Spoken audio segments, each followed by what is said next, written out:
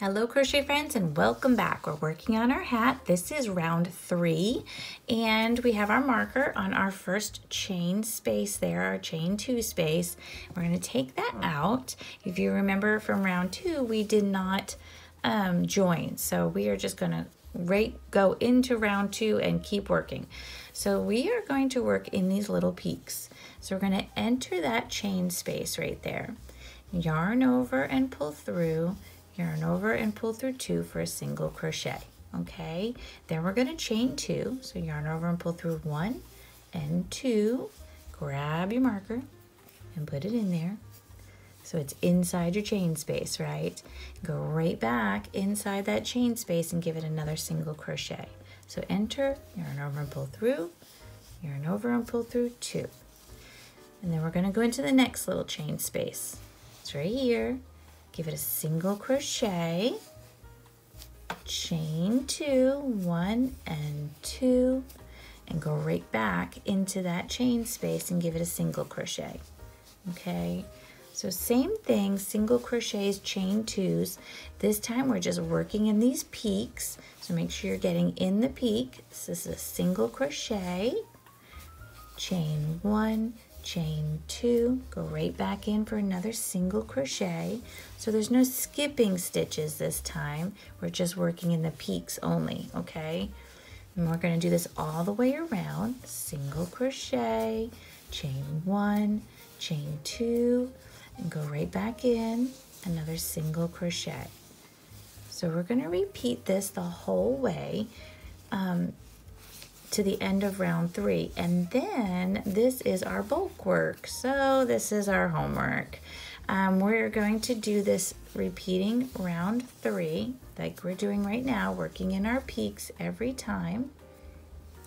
But like it didn't go through correctly. Gonna do that one again. Um, and we're gonna repeat this until our hat reaches seven inches tall, including the ribbing. So from the base here, all the way up until it reaches seven inches, okay? So that is going to be our homework. I know, it's it's hard to have to assign homework. I do feel bad. Um, but we just couldn't sit here and keep doing this over and over. I would bore you terribly.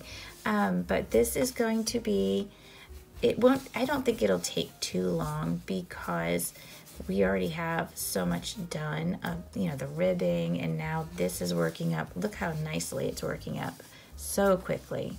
Um, so it's growing.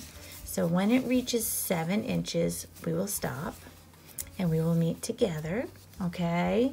And um, but it's just repeating this round three over and over again. Just don't forget when you make that first part there that you're going to put your marker in so you know where you began, okay? One and two, go right back in, single crochet. Okay, so you're going to be making these nice little 18 peaks all the way around like this. Um, that first time when we were doing it in round two, we were setting ourselves up. That's why we're, we were skipping stitches. So. So I hope you're enjoying this. I hope you like your yarn. I like this color. I think it's a very pretty. Um, start thinking about pom-poms um, because you're going to need a little pom-pom on our hat. I mean, you don't have to, but it does look cute. It makes it look finished. You can make a pom-pom. You can buy one of those nice little furry ones, or I mean, you can you can do anything.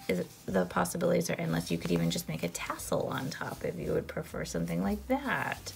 Um, so yeah, you can do anything you'd like. So we are going to do this. This is round three that we're on right now, and we're just gonna keep trucking along until our project measures seven inches, and then we will meet up and we'll, we'll finish working on shaping the crown of our hat, okay?